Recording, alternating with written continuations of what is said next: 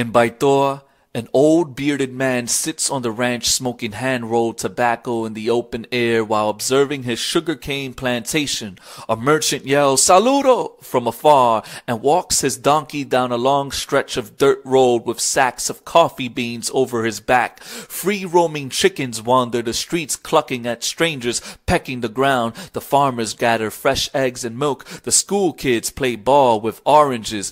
Every morning you hear the roosters rise crowing in unison with the sun, and every evening you hear merengue played from the roadside bars in unison with the moon. This is where the local drunks sing to the memories of their ex-lovers as the bartender serves rum over ice to tranquilize their suffering.